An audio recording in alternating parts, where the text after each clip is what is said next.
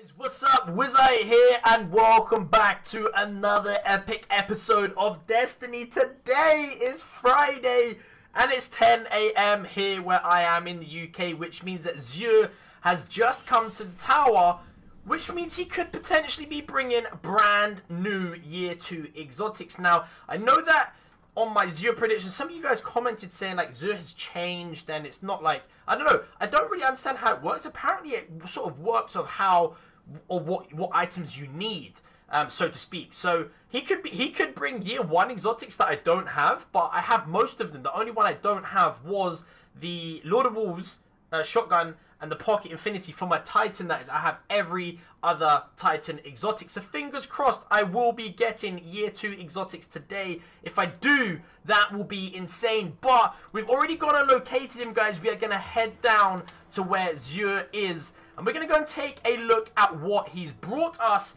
and then I'm going to tell you guys what he brought me. Um, I do think it is individual, though, to each person. After this, I'm going to look on Twitter and see if anyone's posted pictures of what they've got. Um, and then I'll then be able to tell you guys if it is indeed random to what you need. But let's approach Xur and let's see what he has.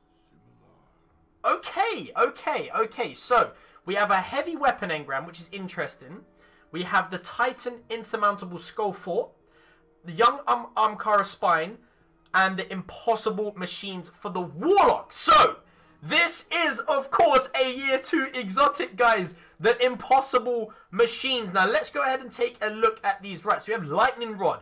Unlocks the Stormcaller subclass node Landfall for free.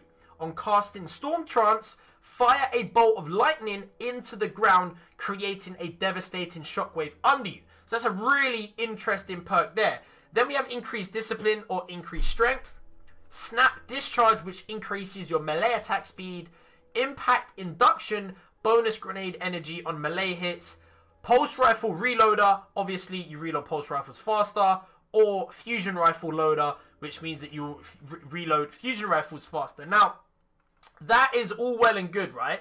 But do we have anything on here? Okay, so the insurmountable skullfort makes you gain an additional charge melee.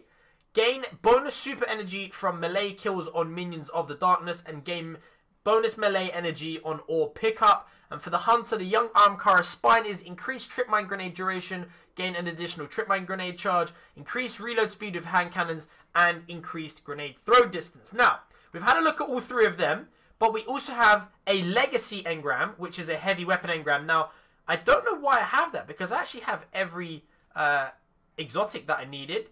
But we also have an exotic helmet engram, guys. And we have got a ton of motes of light. So what I'm going to do is this is just a Xur video. We're going to take a look at what these are in just a second. But this is just a Xur video, right? I am going to go and buy a ton of exotic engrams and start opening them for you guys right after this video. So if you're watching this, check back within the hour. And I'm going to have this video, me opening exotic engrams up on my channel for you guys. But let's take a look at three coins. It's a consumable.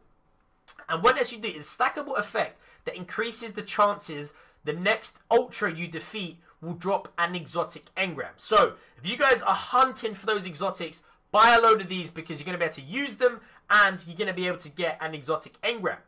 Obviously, he has mote of light consumables which you can uh, exchange. So that's all well and good, guys. That is what Xur has brought this week. Let me know what you got in the comments down below. Thumbs up if you did enjoy this video and subscribe for that exotic engram opening video in just a second. And for next week's Xur inventory. I've been James the Wizard. Thank you for watching. And as always, we'll see you guys in the next video.